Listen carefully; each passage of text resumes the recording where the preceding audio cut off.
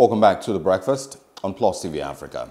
A little bit of history now. Let's, let's go back a little bit to 1975 on the 5th of July. If you look very closely at um, the world of tennis, you might notice that there's not so many uh, black tennis champions. Well, except, you know, the Williams sisters, Serena and Venus.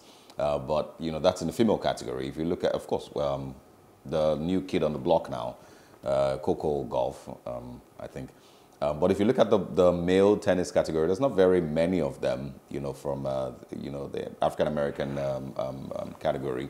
Um, but there's just one of them, and of course it was on this day that he made history in 1975 to be the first black American, uh, African rather, uh, winner of uh, Wimbledon um, in 1975. This happened many, many, many years ago, and over time that has not changed. I've looked to see if there's going to be any other one over time, but not, not even once. On the 5th of July, Arthur Ashe uh, defeated the heavily favored Jimmy Connors to become the first black man to ever uh, win uh, Wimbledon. It, it is, of course, still the most coveted championship in tennis. He began playing tennis as a boy in his hometown in Richmond, Virginia. Uh, two years um, after winning a tennis championship, uh, a scholarship to UCLA, he was taken under the wing of tennis star Pancho Gonzalez, who recognized the young player's potential. In 1968, he became the first black man to, to win the U.S. Open, and two years later, he captured the Australian Open for his second Grand Slam title. Over the next seven years, he won his share of tournaments, but no, may, no more majors. Um, until, of course, in 1975 when he was 31 years old, and he eventually won the Wimbledon uh, title. Uh, furthermore, um, um, he, of course, his best finishes at, at, Wimbledon had been losses in the semi-finals in 1968 and 1969, and that was before 1975 happened. He eventually retired from competitive tennis in 1980 after suffering a heart attack, and um, over time won 51 tournaments. In retirement, he wrote a three-volume book, A Hard Road to Glory, which was first published in 1988, and of course detailed the struggle of black athletes in America. In 1983, this is maybe the sad part of his whole story. In 1983, he, um, after a double bypass surgery, he was infected with HIV um, after a um, blood transfusion.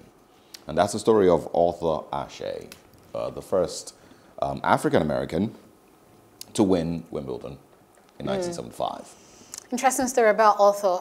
See, um, I love dark horses, right? People who nobody ever looked at to think they would do they would do great. People who people people who others look down on, you know. And Arthur Ashe was one of such. Even though he had, first of all, he was no um, stranger to breaking color barriers. He had won um, other tournaments that others hadn't because you know he was one of the first black men, black tennis players to win those awards. And also, when he came to this Wimbledon, because he was about 31 years old at the time. You know, people said, oh, you are way past your prime. There are other younger players who are going to go in there and thrash you. So it was very surprising when Arthur won that game, became the first black man to win Wimbledon. Now, that racket you see him holding now sits at the National Museum of American History. He donated that museum to them, you know, just gave it to uh, the National Museum of American History um, to say, you know, just giving this part of his, you know, just the honor to share that with the world. And talking about that AIDS um, story, I, I, found that very, very sad. He had a blood transfusion.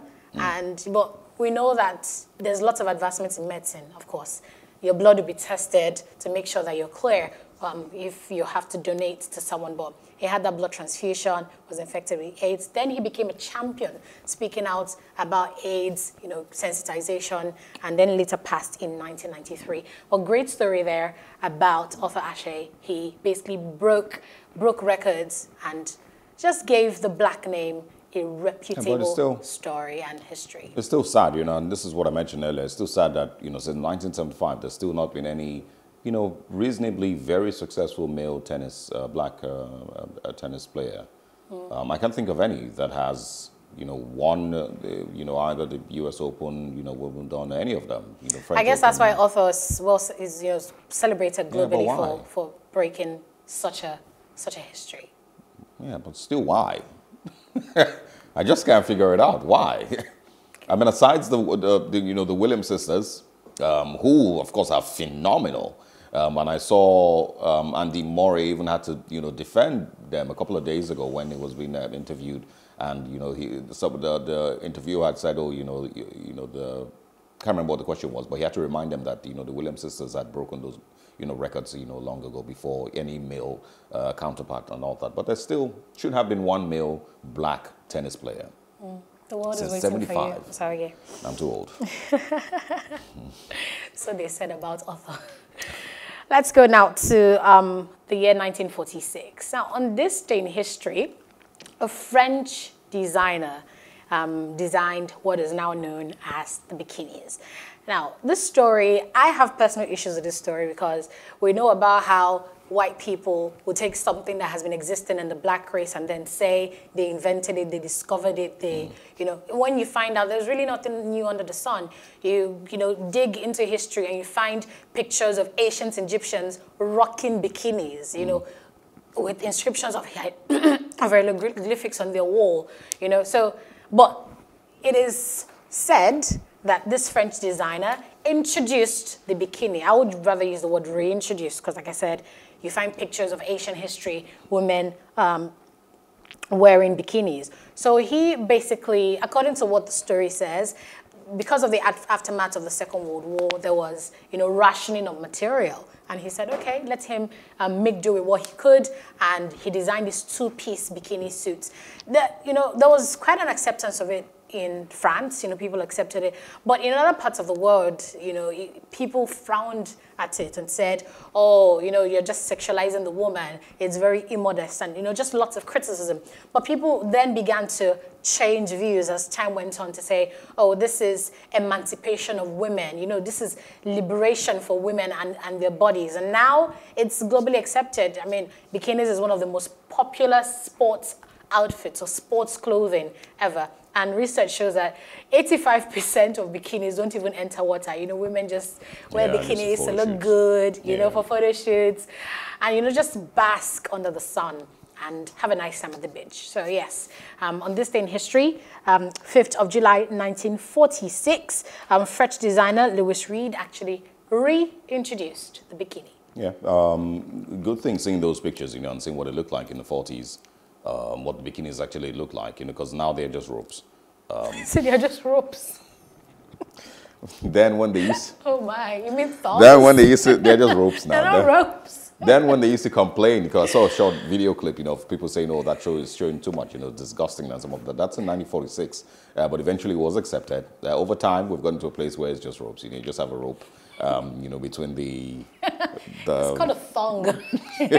still just ropes, you know, and um, you know we, we've gotten to accept, you know, that nudity is a part of our world. Nobody was born with clothes, um, and Oh so it my. shouldn't, it shouldn't, you know, be such an issue if a person, you know, decides to. And I, I, I, I have- absolutely no no issues with it. So what do you have Um, to say of people who criticize women who wear bikinis to beaches? And, you know, women say, oh, am I supposed to wear an agbada to the beach? You know, people do this. But that's true. What are you supposed to? What else are you meant to wear? That it's beach wear.